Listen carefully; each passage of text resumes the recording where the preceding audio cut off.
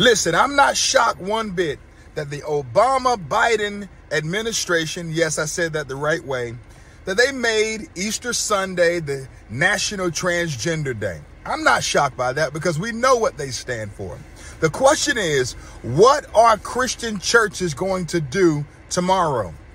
Will your pastor mount the sacred desk and act as if he doesn't know what is going on? Or will he address the issue and say something about it?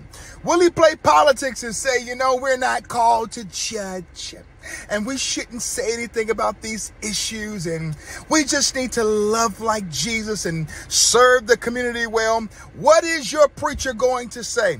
And I'll be the first to tell you this if your pastor doesn't say anything about this, find a new church like quickly Go online and find another church because you really need to because your pastor is woke.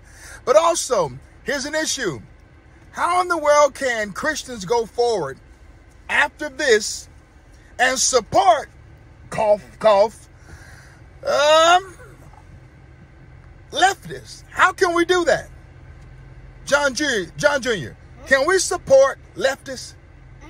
Why? Because it's not the right thing. Why is it not the right thing? Because that's not what God planned. Thank you so much, my friend.